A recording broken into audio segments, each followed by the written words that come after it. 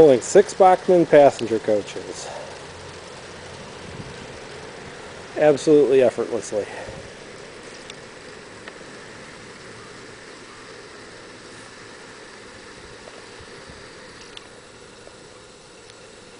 Run slow and steady, or as fast as you can stand it.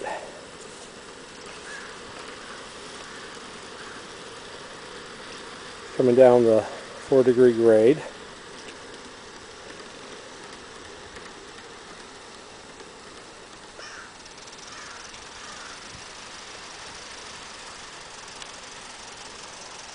Now getting ready to come up it. Climbing a four degree grade from a dead stop.